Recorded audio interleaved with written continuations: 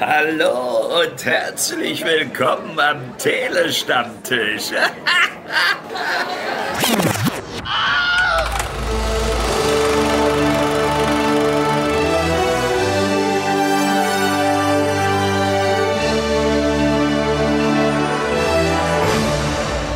Christoph Walz wird ja gerne als unser Mann in Hollywood gehandelt, hier in Deutschland, obwohl er Österreicher ist. Und ungeachtet dessen äh, hat er mittlerweile einen international wirklich beachtlichen Status erreicht. Und nun seine erste, ja nicht ganz erste Serie am Start. Die hört auf den Namen The Consultant und startet am 24. Februar exklusiv auf Amazon. Wir konnten bereits vorab reinschauen und wer sind wir? Zum einen, ja, jemand, mit dem ich schon einiges gemacht habe, auch schon zu Serien, aber er ist natürlich immer wieder herzlich willkommen, der Sven. Guten Abend. Hallo. Und ich, der Dom, einmal wieder. Äh, ja, wir, wir haben schon wirklich einiges zu Serien zusammen gemacht, ne? Mhm. Allerdings, ja. Äh, die hier hatten wir ja auch beide äh, zusammen so ein bisschen. Ja, ich weiß nicht, hast du sie äh, durch das Trailerama, wo wir äh, ja zusammen so auf den Trailer reagiert haben, meine ich, ha hattest du die dadurch entdeckt oder schon vorher davon gehört? Nee, ich hatte sie da tatsächlich erst durchs Trailerama gesehen und dachte noch, oh, das sieht aber böse, gemein, hinterhältig und Christoph Walz geht eigentlich immer.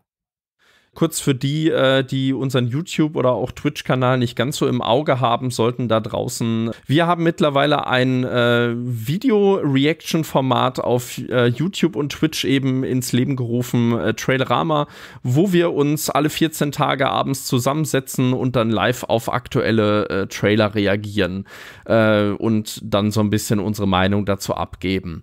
Kann man sehr, sehr gerne mal reinschauen. Der Sven ist einige Male äh, schon dort zu Gast gewesen und moderiert moderiert wird das Ganze von mir, also gewöhnt euch schon mal an meine Stimme. Ja, äh, ich muss äh, sagen, ich hatte den Namen mal irgendwie gesehen und zwar, als hier die Herr der Ringe-Serie lief. Da gab es ja eine Folge, die war inszeniert von dieser Schwedin äh, äh Charlotte Brandström. Und da hatte ich halt mal geguckt äh, im Zuge der Recaps, wo man auch sehr, sehr gerne reinhören kann mit dem Kollegen Lasse, zu Die Ringe der Macht, was die Dame denn noch so gemacht hat oder machen würde. Und da hatte ich halt gesehen, ah, sie hat jetzt als nächstes irgendwas mit Christoph Walz, The Consultant. Ich wusste nicht genau, was das ist, hab's dann nur eben so halt in der Vita gesehen und dann irgendwie auch so halb vergessen, ja, und dann poppte plötzlich dieser äh, Trailer im Trailerama auf und ja, ich hatte irgendwie Lust drauf. Sven, magst du uns denn mal näher bringen, worum es denn eigentlich genau in The Consultant geht, so in den Grundzügen? Okay, ähm, das, was wir verraten dürfen, ist, dass nach einem tragischen Zwischenfall in einer Spielefirma Compware auf einmal ein Unternehmensberater auftaucht mit Namen Regis Patoff und dieser testet die Leistungen und bewertet auch die Loyalität seiner MitarbeiterInnen mhm. und zwar um jeden Preis.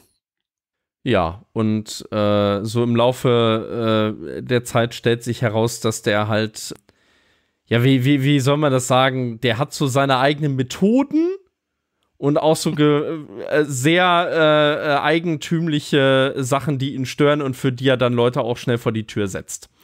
Ja, es ist so dieses, dieses Take it or leave it, aber auf böse. Genau. Also noch böser, als es sowieso schon ist. Richtig. Äh, und im Trailer muss man ja sagen, äh, sah das halt ja nach einer perfekten Rolle für eben Christoph Walz aus. Und der ließ das Ganze auch wirklich wirken wie so eine, ja, so eine, so eine Variante eigentlich sogar immer von Stromberg oder The Office. Ist auch irgendwo eine Arbeitsplatz-Satire. Allerdings geht das Ganze schon relativ schnell schon wirklich so in, ja, sage ich mal, schon Thriller-Sphären driftet das schon irgendwo ab. Also man muss dazu sagen, es sind ja, glaube ich, insgesamt acht Episoden. Wir haben jetzt vier vorab sehen können. Wir müssen auch hier echt aufpassen, was wir sagen, denn wir haben äh, für die Vorab-Screener, äh, vielen Dank dafür an dieser Stelle natürlich an die zuständige Agentur. Äh, wir haben einige Auflagen dafür bekommen, was wir halt nicht verraten dürfen im Vorhinein. Deshalb könnte das jetzt hier ein kleiner Eiertanz werden. Also, was, was kannst du so nach vier Folgen so für dich sagen bisher? Oh. Also storytechnisch und genretechnisch ist es, finde ich, ich habe selten gelacht. Mhm. So witzig fand ich es nicht, auch wenn ich gerne es äh, derb und derber Humor und so mag.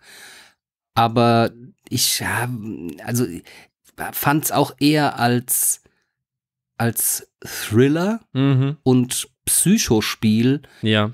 als es äh, ja als so diese diese diese typische diese Dark Comedy. Es sind kleine Anteile drin, aber es ist jetzt kein Schenkelklopfer dabei. Also Nee. wo man sagt, ho, ho, ho, das das nett, sondern du hockst eher da und denkst, ah ja, okay, und dann kommt was krasses, wo dir echt die Kinnlade runterfliegt und denkst, das habt ihr jetzt nicht ernsthaft gemacht. Aber ist derb. Ja, es ist, äh, ich würde sagen, schon eher so wirklich im Makabren anzusiedeln teilweise. Ne? Also es ist zwar schon schwarzer Humor vorhanden, aber äh, es wirkt über weite Strecken teilweise schon wirklich bedrohlich.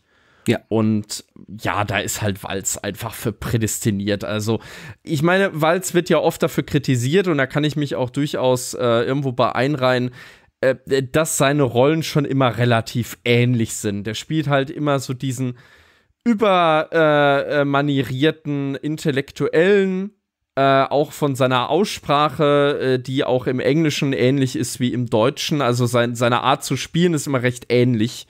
Aber ganz ehrlich, fuck it, es passt hier einfach. Das stimmt, ja.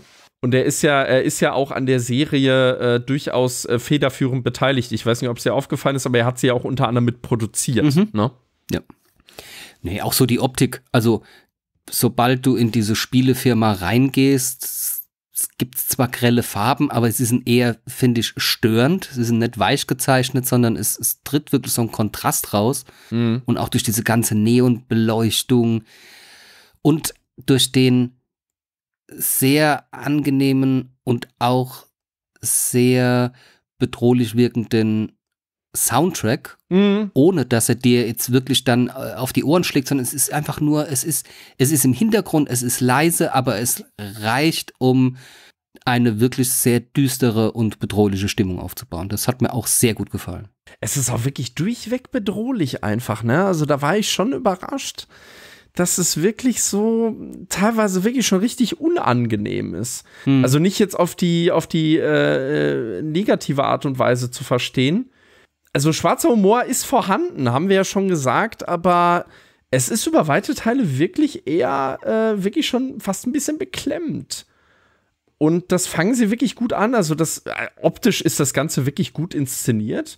Wir haben ja auch äh, neben Charlotte Brandström haben wir auch äh, äh, durchaus namhafte Leute. Also Matt Checkman zum Beispiel, der hat ja äh, schon einige Folgen äh, Game of Thrones inszeniert und wird ja jetzt auch für Disney The Fantastic Four umsetzen.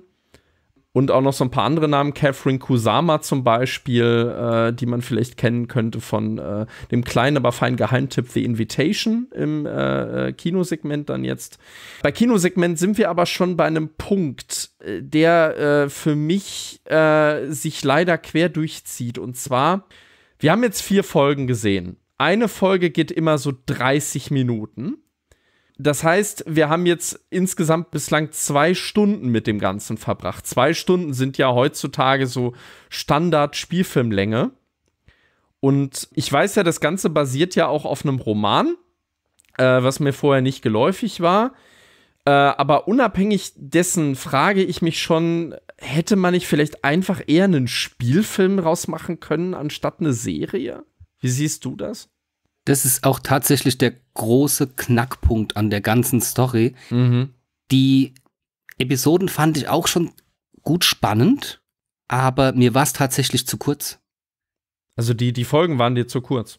Ja, und Mhm. ich finde auch, dass die, die Spannung, weil du dann in der nächsten Folge dann wieder ein bisschen woanders da anfängst, da einfach auch teilweise ein Bach runtergeht. Ja, Und Ja. mir wäre es lieber, mir wäre es vielleicht lieber gewesen, sie hätten gesagt, okay, wir machen jetzt weniger Folgen, aber dafür eine Stunde Laufzeit. Und man ist ja auch, man, äh, das ist ja wirklich auch so wie so ein Unfall, man ist ja angeekelt und trotzdem fasziniert mhm. von äh, Petov ja. und auch von seinen Spielchen und Machenschaften, was er da so treibt. Und man denkt immer, ich will mehr wissen, ich will mehr wissen. Und genau in dem Moment ist dann die Serie meistens, also die Folge dann zu Ende und startet dann woanders. Und da hätte ich mir, ja, eine Stunde und ein klein bisschen ausführlicher hätte mir besser gefallen. ja, oder eben dann wirklich direkt als Spielfilm, ne? Also Oder weil, als Film, ja. weil ich finde, die Folgen haben jetzt, also die, die sind sehr kurzweilig, das muss man sagen. Das zieht sich kein bisschen oder so. Und die Folgen in sich funktionieren auch relativ sogar in sich geschlossen, auch wenn es natürlich eine übergreifende Handlung gibt. Aber da äh, ist dann auch so ein bisschen mein Problem. Äh, da werden dann halt zum Ende der Folge irgendwelche Situationen aufgeworfen. Und ja, dann hast du aber das Gefühl, so in der darauffolgenden Folge, ach ja, das, man, man lässt das irgendwie jetzt erstmal alles so auf sich beruhen, so Mhm. plottechnisch. Also auch die Figuren. Da frage ich mich dann auch so, wa warum macht ihr denn nichts? Warum setzt ihr euch nicht mal irgendwie in einer gewissen Art und Weise zur Wehr? Ich meine, klar, die bangen da alle um ihre Jobs und ihre Existenz. Auch die ganze Firma ist ja äh, schon angezählt, könnte man sagen, so rein äh, betriebswirtschaftlich auch, ne? Ja. Aber äh, trotzdem ist das so ein dramaturgisch so ein bisschen merkwürdig manchmal. Und das schreibe ich dann leider wirklich der ja, äh, Serienerzählung äh, zu, für die man sich hier entschieden hat. Ja, ja. Wie gesagt, also mir wäre es tatsächlich ein bisschen länger lieber gewesen. Und halt auch ein bisschen ausführlicher. Aber weil du jetzt auch gerade schon die, die Nebencharaktere angesprochen hast, es ist ja nicht nur Walz, der souverän und auch wirklich gut böse agiert, Hm. sondern auch seine Mitstreiter neben, also was heißt Nebendarsteller, die anderen Hauptdarsteller, die die Serie auch wirklich sehr, sehr gut tragen. Gerade, wir hatten es ja gerade eben schon im Vorgespräch, wo wir gesagt haben, dass ähm, Ned Wolf und ähm, die Brittany O'Grady, Hm. die beide ja jetzt äh, keine Hollywood-Schwergewichte sind wie Walz, er ist es einfach, Ja. ist, ist er. Und die agieren einfach auch super, auch so außenrum. War für mich auch jetzt diesmal wieder keiner dabei, der mir irgendwie auf den Sack ging oder wo ich gedacht habe, naja gut, da hätte da aber wirklich jemanden namhafteres vielleicht rauskramen können, sondern Mhm. die spielen alle wirklich gut und die haben auch Spaß. Ja, vor allem äh, funktionieren die auch in Szenen ohne Walz. Richtig, ja. Das ist, also, ich- also ich meine, äh, Hand aufs Herz, die ganze Serie ist auf Walz zugeschnitten. Ja, Er, er ist die Hauptattraktion und steht im Mittelpunkt. Da gibt's, da gibt's kein äh, Wenn und Aber. Äh, normalerweise wäre das aber so, dass die Serie ja auch so ein bisschen schwächeln könnte, wenn er mal länger nicht zu sehen ist. Es Mhm. gibt ja doch einige Szenen zwischen den Mitarbeitern und eigentlich wird das Ganze ja auch aus der Sicht der Mitarbeiter auf ihn erzählt. Ähm, und zum Beispiel auch bei Stromberg ist das so gewesen. Äh, wenn da Folgen waren, wo er nicht so präsent äh, auf dem Bildschirm ist, dann ja, dann merkte man schon, dass das auch dramaturgisch so ein bisschen in Schlingern kam. Also ich kann mich sogar erinnern, ähm, ich habe mal ein Making-of zu Stromberg gesehen und da sagte einer der Schauspieler äh, aus dem Büro halt eben, also von auch von, von den Leuten, die da eigentlich kaum mal irgendwie einen Satz sagen, sondern einfach nur halt Mitarbeiter sind, ne, in der Kapitol. Der sagte, ja, warum äh, könnten wir denn nicht mal eine Folge nur mit uns haben, ne? Halt ohne, ohne Bernd. Und das haben sie aber nie gemacht, weil sie wahrscheinlich gemerkt haben, dass das nicht funktioniert hätte. Und hier äh, äh, bricht es dem Ganzen aber absolut nicht das Genick. Also sowohl Ned Wolf und insbesondere äh, Brittany O'Grady, die man halt wirklich, also Ned Wolf könnte man noch in äh, ein paar Sachen gesehen haben. Äh, aber Brittany O'Grady äh, zwar auch jetzt, also die hat noch nicht so viel auf, auf, auf der Kerbe, aber die machen einen wirklich richtig guten Job und allein schon, dass die gegen ein Schwergewicht wirklich wie Christoph Walz nicht völlig baden gehen, dafür gebührt denen schon echt Respekt. Ja, das, ich war wirklich, ich war die ganze Zeit begeistert. Ich dachte, ah cool, das ist allein schon diese, diese, diese Anfangsszene, als sie ihn das erste Mal sehen und er Ned Wolf auch bittet ihm bei etwas zu helfen, Mhm. Das war Hammer. Und also das war, das war und es war super unangenehm, Mhm. weil du dir auch nicht so ganz sicher warst, was zieht der da gerade ab. Und das haben alle drei absolut gut gemeistert. Da dachte ich noch, okay, da bin ich jetzt mal gespannt, wie das weitergeht. Ja, weil es äh, trifft auch wirklich darauf zu, wie das, äh, also ich, ich hatte in Vorbereitung jetzt hier auf den Podcast, hatte ich doch mal jetzt geguckt äh, nach dem Roman, der heißt ja im Deutschen nur Der Berater. Und da heißt es, dass dieser äh, Consultant, dass der halt ein Lächeln drauf hat, was aber niemals die Augen erreicht. Mhm. Und das trifft Walz eigentlich wirklich perfekt. Ja. Also, das, das kennt man ja selbst aus, aus Inglourious Bastards schon, dass der eigentlich total freundlich wirkt, aber völlig kalte und teilnahmslose Augen hat. Also da ist er wirklich, er ist, er ist die Idealbesetzung von dem aus, was da zumindest äh, kurz beschrieben wurde auf dem Klappentext, äh, den ich da gelesen hatte. Ja, absolut. Zusammenfassend kann man sagen, äh, basierend jetzt auf der Hälfte, kann ich die Serie durchaus empfehlen. Ich denke, die kann man auch sehr gut weggucken. Es ist auch, glaube ich, ein großer Trumpf, äh, dass Amazon alle Folgen äh, auf einen Schlag veröffentlicht, also eher so im Netflix-Style. Ähm, weil ich glaube, über mehrere Wochen würde das nicht funktionieren. Nee, glaube ich auch nicht. Ähm, das ist so eine richtig schöne Binge-Serie. Man macht da echt nichts mit falsch und ja, ach, wenn man Christoph Waltz mag, selbst wenn man nicht mag äh, äh, oder, oder halt der Meinung ist, dass er äh, doch immer relativ so in seiner Komfortzone bleibt, was, was so sein Spiel angeht. Er ist nun mal einfach, äh, für das, was er abliefert, ist er nun mal einfach wirklich stark und auch sein Zusammenspiel mit den anderen. Also halt, dass er auch äh, als, als ähm, äh, ja, äh, alteingesessener äh, Virtuose äh, mit so relativ jungen Darstellern auch interagiert, ne? Das äh, ist durchaus auch schon sehenswert. Also auch so, wenn so, so ein bisschen, sag ich mal, auch auf schauspielerischer Ebene die Generationen so ein bisschen aufeinandertreffen. Ne? Ja, Weil die sind ja alle wirklich deutlich jünger als er. Ja. Alles in allem kann man sie wirklich empfehlen. Äh, könnt ihr gerne reinschauen ab dem 24. auf Amazon Prime von uns beiden auf jeden Fall eine Empfehlung. Und ich werde es auch definitiv, wenn es jetzt äh, regulär veröffentlicht wird oder je nachdem die Screener, äh, werde ich es auf jeden Fall zu Ende gucken. ja, bin ich auch dabei. Das, äh, ich weiß nicht, hast du noch was hinzuzufügen? Nö, wir haben alles, alles abgegrast. Gut, dann, äh, ja, Sven, hat mich mal einmal wieder sehr gefreut. Immer wieder gern. Äh, vielleicht äh, hören und sehen wir uns ja noch mal im Trailerama. Äh, Mhm. Auch äh, über Zuhörerinnen und Zuhörer, die vielleicht auch den Weg dahin finden, ob nun auf Twitch oder auf YouTube, würden wir uns natürlich freuen. Zum Zeitpunkt äh, dieser Aufnahme kann natürlich noch keiner was zur Serie selber sagen, aber äh, wenn ihr diesen Podcast hier findet, vielleicht habt ihr ja schon mal reingeschaut, dann könnt ihr uns natürlich auch gerne Kommentare hinterlassen, äh, was so eure Erwartungen daran waren oder ob ihr überhaupt jetzt vielleicht auch Lust auf die Serie bekommen habt und ob ihr sie vielleicht auch schon gesehen habt. Lasst uns das alles gerne wissen, äh, bevorzugt beim YouTube-Upload, aber auch gerne unter tele-stammtisch.de. Und damit sind wir raus. Sven, Maris Jut, Gleichfalls. bis zum nächsten Mal. Bis zum nächsten Mal. Ciao, ciao. Sehr geehrte Damen und Herren, wertes Publikum, liebe Hörende, vielen Dank für eure Aufmerksamkeit und Zeit. Ich hoffe sehr, euch hat gefallen, was ihr gerade gehört habt. Wir, die Redaktion des Telestammtisch, betreiben ein semi-professionelles Podcast-Projekt zum Selbstmitmachen. Also meldet euch bei uns, wir beißen auf. Außerdem freuen wir uns immer über Feedback via Social Media und E-Mail sowie euren finanziellen Support.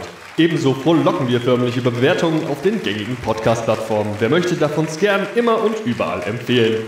Alle relevanten Links findet ihr in den Show Notes. Vielen Dank und bis zum nächsten Mal. Euer Andi.